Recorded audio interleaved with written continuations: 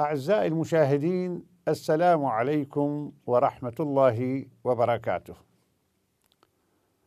نتحدث إليكم في هذه الحلقة عن شخصية بارزة مهمة تركت أثرا كبيرا لا ينسى ولا يهمل. ترك مدينة كاملة. حينما كنا نتحدث عن أعلام سابقين كنا نقول أنهم تركوا تراثا مكتوبا تركوا شعرا تركوا علما تركوا آثارا أدبية تاريخية إلى غير ذلك. ولكن هذا الرجل ترك مدينة بكاملها. ذلك هو إبراهيم بن أحمد إبراهيم باشا بن أحمد باشا الباباني مؤسس مدينة السليمانية. هذه المدينة التي ما زالت قائمة وستبقى إن شاء الله على كر السنين. هذا الرجل إذا اقترن اسمه باسم مدينة بكاملها بتراثها. أسسها ومع أنه لم يعش فيها إلا بضعة شهور. لكنه لكن هذه المدينة بقيت من بعده وأصبحت حاضرة مهمة من الحواضر التي آه، يعني شهدت حياة مهمة وأدت أدوارا مهمة في تاريخ العراق وتراثه وفي تاريخ كردستان وتراثها. من هو إبراهيم هذا؟ إبراهيم الباباني من لقبه نعرف أنه هو أحد أفراد الأسرة البابانية الأخيرة التي تولت منطقة واسعة من مناطق كردستان. منطقة السليمانية طبعا لم تكن مبنية في ذلك الوقت قبل عهده. آه، وتعاقبت كما يعلم المختصون على هذه المنطقة آه، خمسة أسر بابانية واحدة تعقب الأخرى. هو من الأسرة الأخيرة وهي الأسرة البابانية التي تعد آخر من تولى من البابانيين حكم هذه المناطق. هو من الأسرة الأخيرة. أبوه كان آه، حاكما على منطقة بابان. آه، عمه كان حاكما في منطقة بابان. هو من أسرة عانت الحكم والحياة العسكرية ويعني حظيت باهتمام المؤرخين بحكم ما أدته من أدوار عسكرية بالذات وإدارية. ومركز حكم هذه الإمارة كانت قلعة قلعة شوالان وقلعة شوالان بلدة تبعد قليلا عن مدينة السليمانية ولم تكن هذه المدينة قد أسست بعد. قلعة شوالان آه، أقرب أن تكون حصنا أو قلعة اتخذها أمراء البابانيين لا سيما الأمراء الأواخر من الأسرة البابانية الأخيرة دار حكم لهم. آه، وحقيقة برز دور إبراهيم هذا في منذ شبابه إذ آه، شارك في حملات عسكرية لمعونة ولاة بغداد يعني شارك في حملات قام بها آه، ولاة بغداد أو قام بها آه، كلف بها. أبوه أحمد باشا وعمه محمود باشا قام بعمليات عسكرية شارك فيها وبرزت في أثناء هذه العمليات العسكرية شجاعته المتميزة وشدة بأسه. فلفت أنظار ولاة بغداد لا سيما والي بغداد سليمان باشا الكبير الذي ستنسب إليه مدينة السليمانية.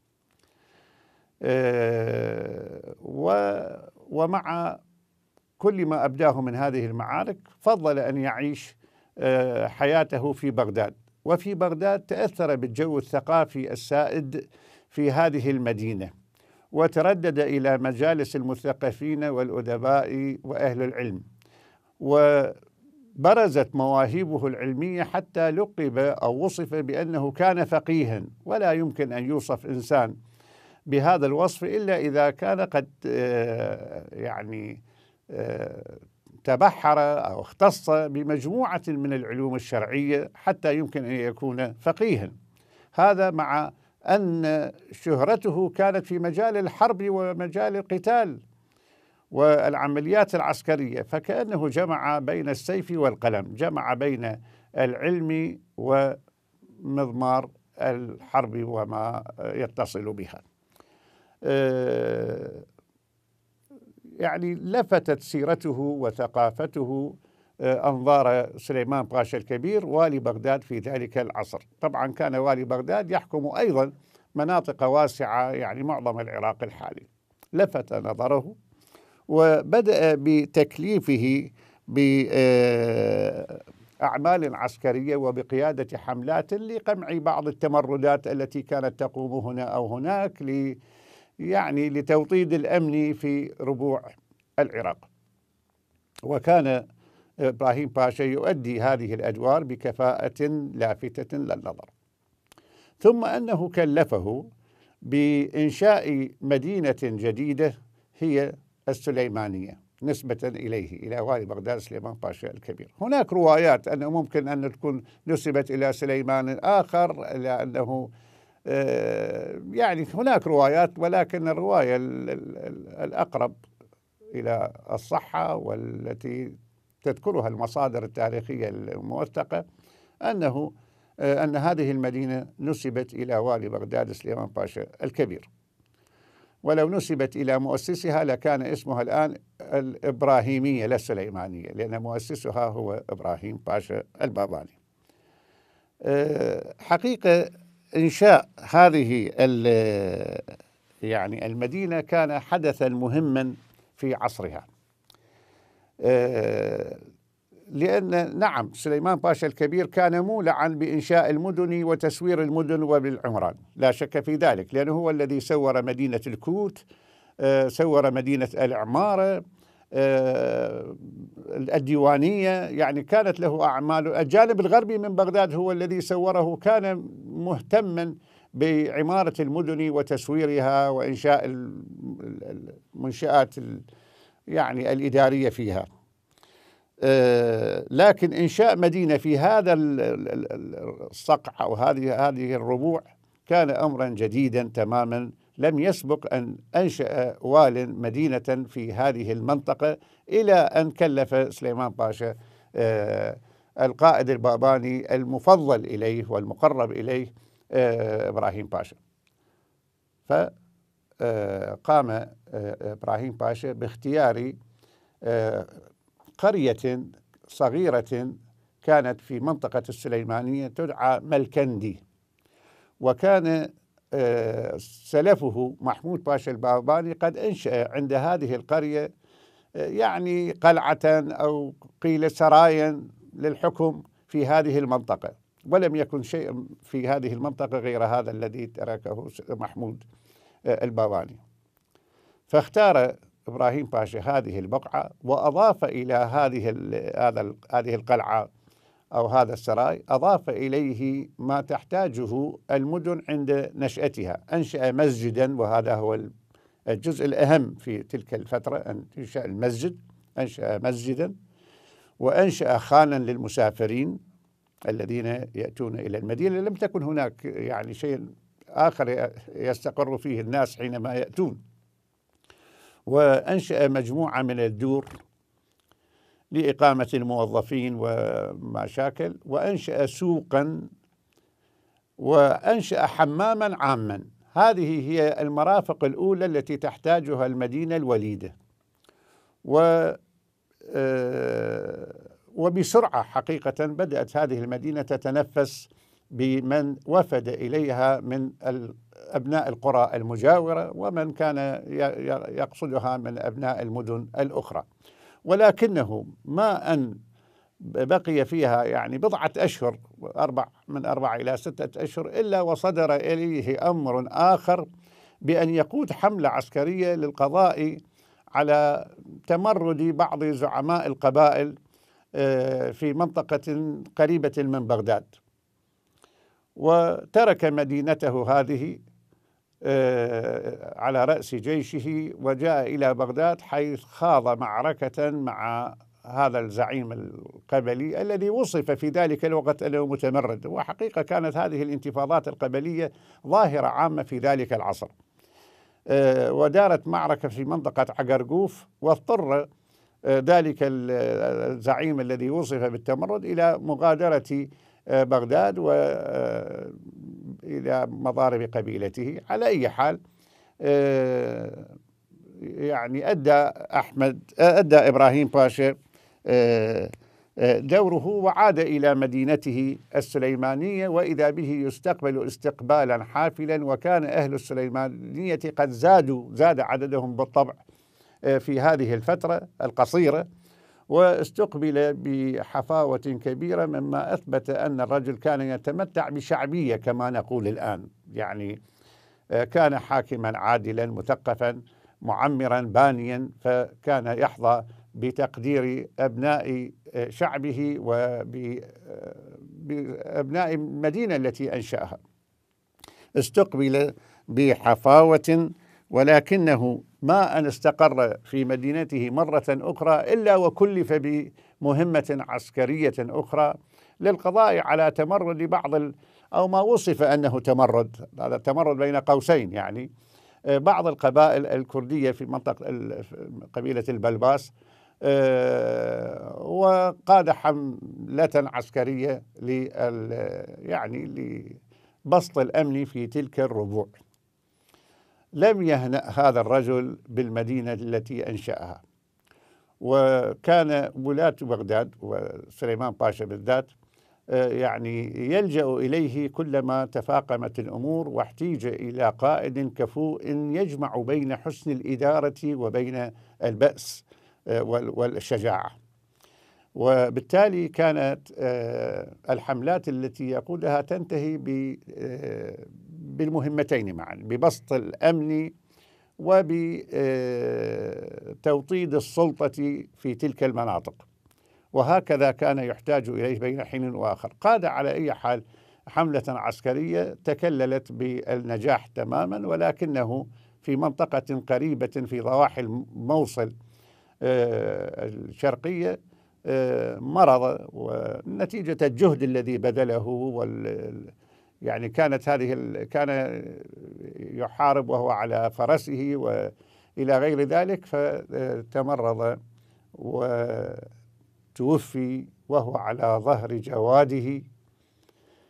لم ينزل منه منذ أن انطلق في هذه الحملة فشيع بإجلال واحترام إلى آه، جامع النبي يونس ودفن عند هذا الجامع وظل يعني قبره موجودا في ذلك المكان المحترم من قبل الموصليين والمسلمين بوجه عام. آه، وبهذا انتهت حياته بين حرب وبين بناء. حقيقة آه، يعني إبراهيم باشا الباباني يمثل نموذجا جديدا نعم فيما بعد ظهر ولاة جمعوا بين الصفتين. يعني داود باشا كان عالما وهو آخر ولاة المماليك في بغداد الذي انتهى حكمه في عام 1831 كان عالما فقيها وكان واليا وقائدا. لكن آه، ربما كان آه، إبراهيم باشا النموذج الأول لأولئك الولاة الذين جمعوا بين آه، بين الصفتين. كان عالما مثقفا أديبا يحضر المجالس في بغداد وكأنه بغدادي أصيل مثقف ومتأثر بالبيئة البغدادية. وحينما كان يركب الجوادة ويمضي في الحملات العسكرية نجده قائدا آه، محنكا شجاعا آه، قادرا على قيادة الحملات الناجحة. ويتمتع كما ذكرنا بحسن تدبيرا في جوانب الإدارة والدبلوماسية. يعني لم يكن محاربا فحسب وإنما كان أيضا دبلوماسيا قادرا على معالجة الأمور بالحسنى بالحكمة آه، بحيث أن حملاته كانت تنتهي دائما بالنجاح. آه، آه، من المهم أن نذكر أنه آه، بعد أن رحل عن هذه الدنيا ترك لنا آه، هذه المدينة التي سرعان ما نمت بسرعة حقيقة.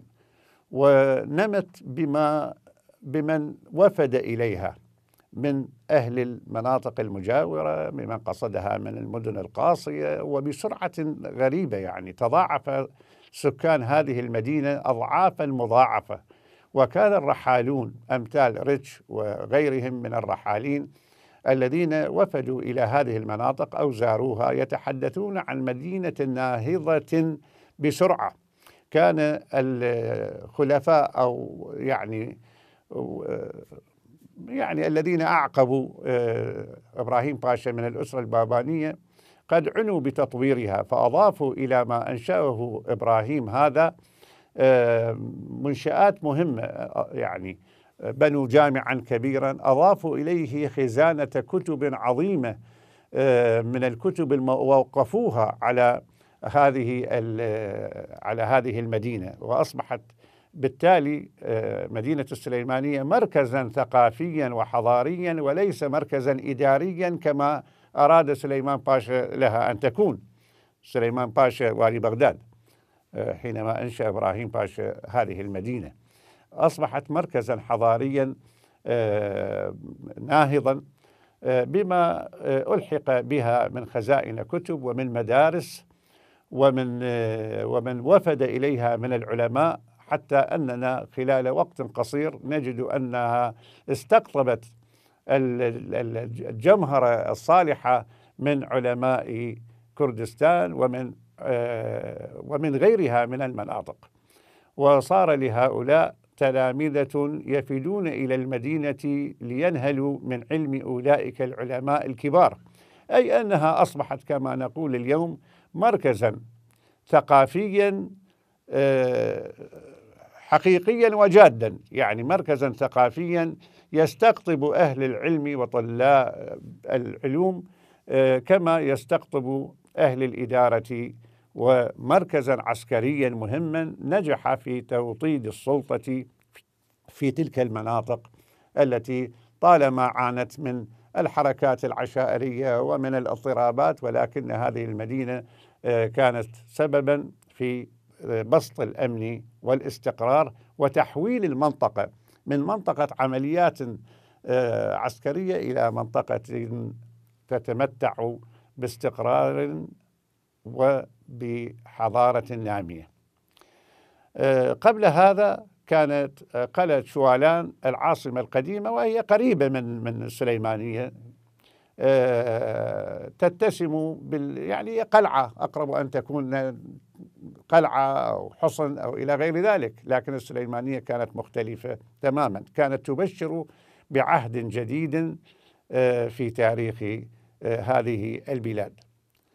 آه، حقيقة يعني لا يبقى إلا أن نقول أن ما فعله إبراهيم هذا إبراهيم باشا الباباني كان شيئا مهما. كان ينم عن حسن اختيار المكان كان ينم عن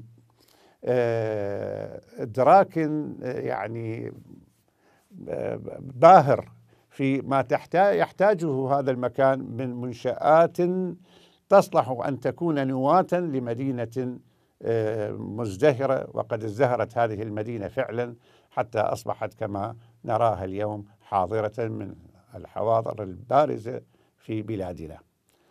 أعزائي المشاهدين